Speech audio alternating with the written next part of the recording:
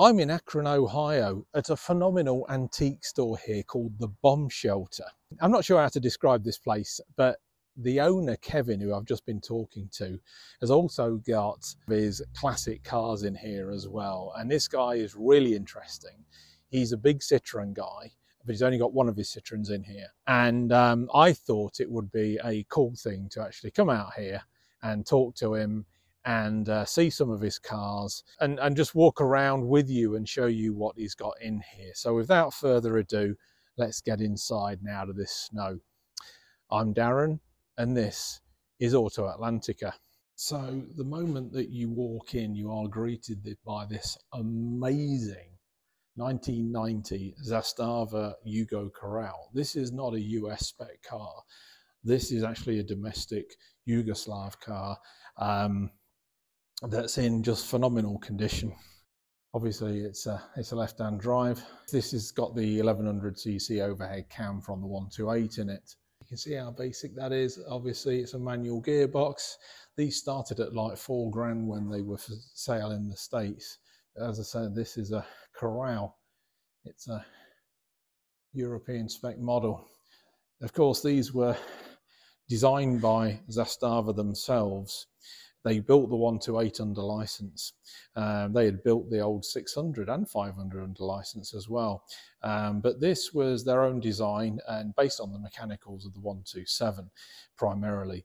And uh, they did use the 903 and the 1116 cc engines in this. This has got the over overhead cam. Of course, that 903 engine was replaced by the uh, fully integrated robotic engine version, the Fire, which was 999cc originally, and uh, then it spawned into a host of engines and ultimately became the multi-air version of which I have in my bath. But just look at the cleanliness of this thing, which is just astonishing. So the bomb shelter is 26,000 square feet of all sorts of knickknacks and antiques, ranging from this photo booth here to a bunch of old cameras, a lot of old Kodaks. That's another interest of mine. Uh, this is the uh, photography section. Um, ranging to old radios here from the 40s and 50s and 60s and a whole plethora of LPs that I wanted to go through but didn't have time. Uh, depression glass and other old crockery here in a kitchen section. I was particularly impressed um, by this old cooler uh, there and uh, even old dental equipment. So you can set your own office up. This uh, thing is uh, simply known as the Creature. I'm quite sure what it is, but it was wearing a football scarf. And these old TVs were just to, to die for. Absolutely love those. As was were these old couches and various curio cabinets and Art Deco lamps. Um, just wonderful. But I was here for the uh, the motoring section, and I just this is a passion of mine. Uh, old signs um, from roadways and garage signs and things like that. And there's there's a heap of them here and old license plates and that kind of thing. Next up, which actually blew my mind to find a North American spec AMI 6. This one is, I think it's 1964, and it's been repainted. It wasn't originally this color, apparently. It's a 1965 AMI 6. Um, this has got the interconnected uh, suspension. Um, so the suspension system was separate on one side of the car. It was interconnected between the front and the back, and there was two two different systems essentially. It's a very early car. The very early cars, of course, had the uh, sliding windows. Citroen 2CV mechanicals, of course, in this. But uh, the North American models were equipped with four sealed beam headlights and the uh, raised indicators. Um, and then, of course, uh, these uh, sort of more bolstered bumpers. Now, only the sedans were sold in North America. This was before they added the uh, the wagon. And the wagon, of course, went on to be sold in Europe until uh, about 1977. And um, it, latterly, it had a four-cylinder version, which was the Super, the Ami Super, got fully independent suspension. Um, yeah, it was known as the world's most comfortable medium class car. So, as you can see, that speedometer is in miles per hour. And it's a Canadian car, but this is from an era, it's from 1965. That's before Canada went metric. And I can't remember when they went metric, but it was after that point in time, which is why that's Imperial. Um, this one has got the old 602. I think the 8 went up to 652cc. Um, and then the Super AMI, let's put this a little bit wider. The um, the AMI Super, of course, was the four-cylinder one. They were last of the line, but this is such an early car. But what was interesting about the AMI is that it was used uh, for the development of the Comotor Wankel engine, and that was a joint venture with NSU. And they called it the birotor, and they initially put it into a version of the AMI called the M35, which was a coupe version. And I'll flash that up on the screen. Um, that they built like 850 of those and they were basically given to existing Citroen customers. They had a job getting them all back, um, but they went ahead, even though it wasn't successful, they went ahead and put that engine into the GS, into the birotor. It was an enormous flop. It was highly unreliable. It was very thirsty as well. And the warranty claims pretty much sunk Citroen. And when and it uh, sent them into bankruptcy in 1974, when PSA effectively partnered with them and ultimately bought Citroen in 1976, they tried to get all those GS birotors back. And again, unsuccessful in doing so. And they only built like 850 of those uh.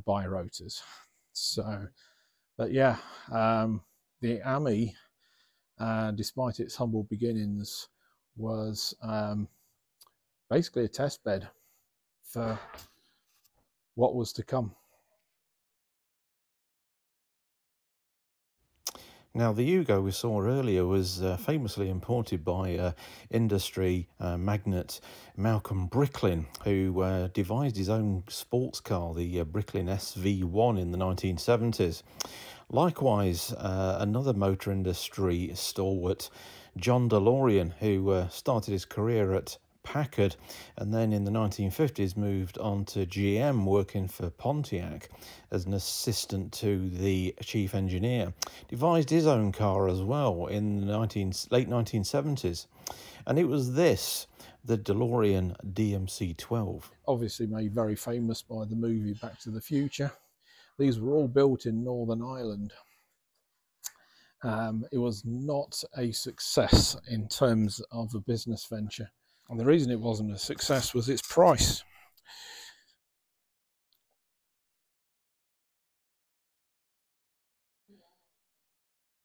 This was intended to compete against the uh, likes of the Porsche 911 and the Jaguar XJS even. But um, it had an intended starting price. They were all out of the factory, brushed aluminium. Down his intended starting price of about $12,000.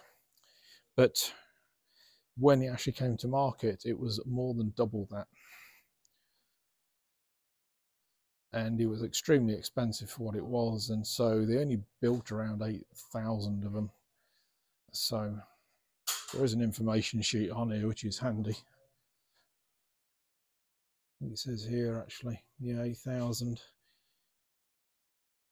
And an additional 900 were assembled in Columbus, Ohio by Consolidated Stores, which runs a um, bric-a-brac chain called Big Lots. Well, not bric-a-brac, but discount store chain. When they purchased the company's assets using Irish workers in 1983. That's interesting. I don't know if this is one of those final 900 or if it, this one is a Northern Ireland car. Um, these used the old PRV engine, um, the uh, 2664 unit. Actually, by the time this came out, it had been upgraded to 2849cc, and that ended up in the the Volvo 260, the Volvo 760, the Peugeot 604, the Peugeot 605, and uh, Citroen. No, not Citroen. The Renault 30. Um, and then I think a version went into the Safrane as well later on. Um, the Renault 25, sorry, not the Safrane. Um, but very, very interesting car, this. Um, it's great to see it here, and it's great to see it amongst this little collection. Um,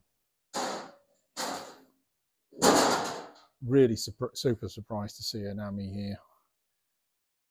But uh, yeah, so we've got a Kawasaki motorcycle in here. I know nothing about motorcycles as a rule, so there's a motorcycle. But yeah, it's just so cool just to see all this in this particular room, all this motoring memorabilia with all manner of old signs in here. These are going to be the old like um, ceramic signs and porcelain signs. Some old editions of uh, Road and Track. I like that Route 8 sign. Is that for sale? Route 8 is a local road. It is for sale. I absolutely love this traffic light. I have a traffic light in my car barn, but not as not a four-way one like this. That is fantastic. And that's a really good price too. Sorts of old license plates, hubcaps, and I love my hubcaps. I've got several old, I've got some old Buick ones like that, just like that. But uh, absolutely phenomenal room this is. If you're a car guy, and you want to see a really cool room, or if you're into antiques in general, come out here.